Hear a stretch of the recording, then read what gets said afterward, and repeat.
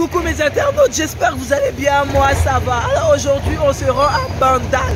On va vérifier est-ce que Bandal c'est Paris ou pas. Allez venez avec moi, on va à Bandal. C'est bon, ciao. Ciao, Bandal,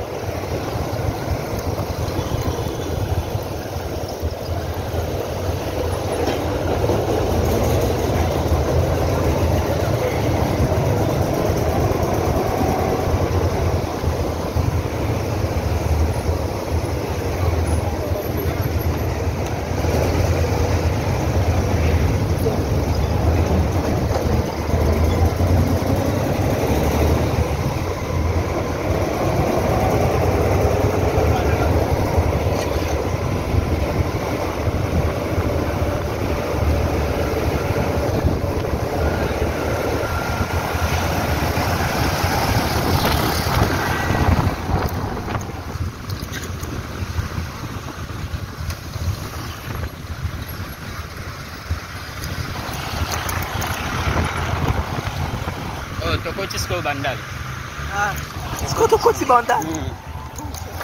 eh, alakso ah, ti aveni na bango ah, voilà place ye abotamaki otisiko bandal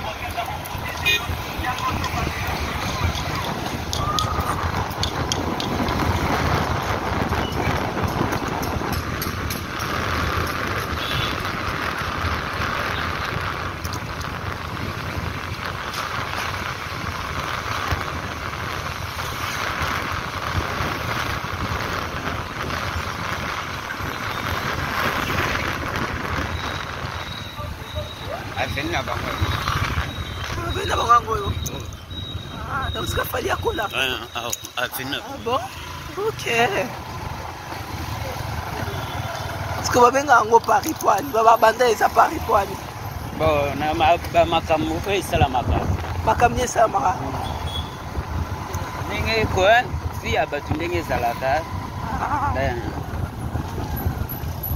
ok kotisakotisa ngamo vite fait après il faut vérifier vraiment, est-ce que Banda c'est Paris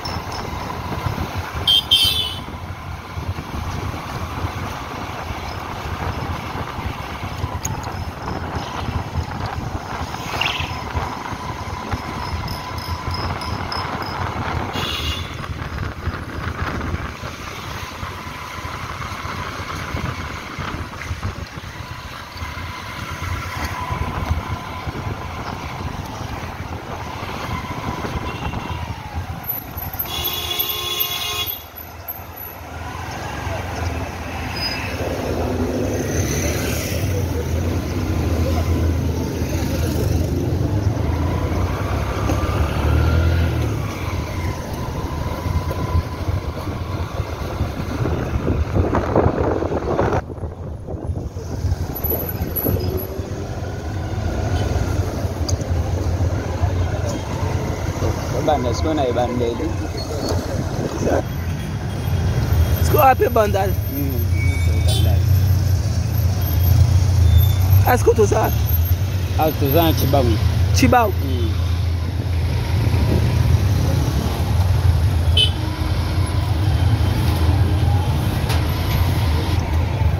mama nanga yanabukanga mkuu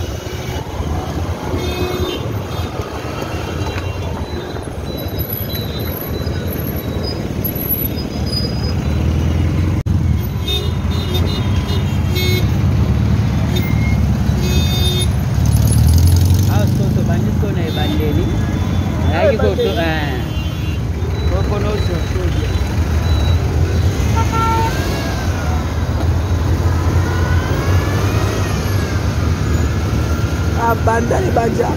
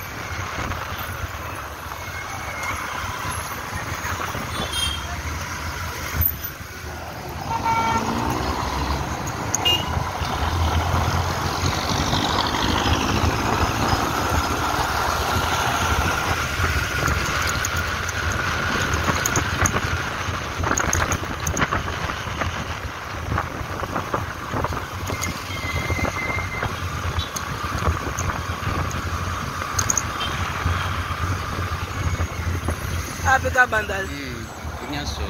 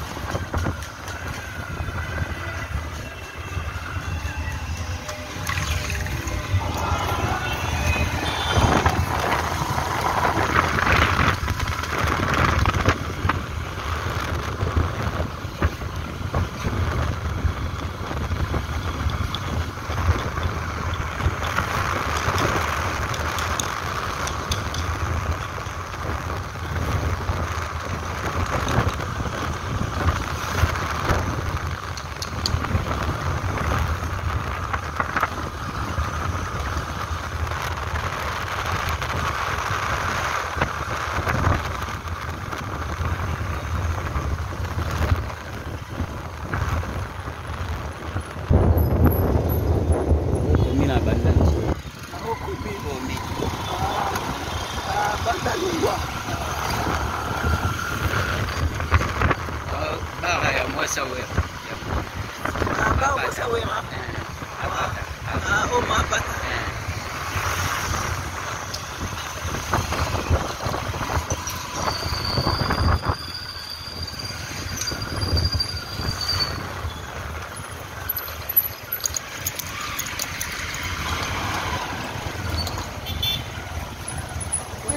oyo place eh, oyo oh, place bawer banani bawer bata misiki awa emoni kida emoni kida kida eh. ah, o eza ni yango hmm. eza ni eza place ba bawera na bajibe babandaki ah, oyo ajibe ah, abandaki kuna hmm. Ah, ok. Ok. Bon. il y a des élèves à image qui trop gros. Donc, bandal, bamusicien, bauta na bandal, bakuta na bandal.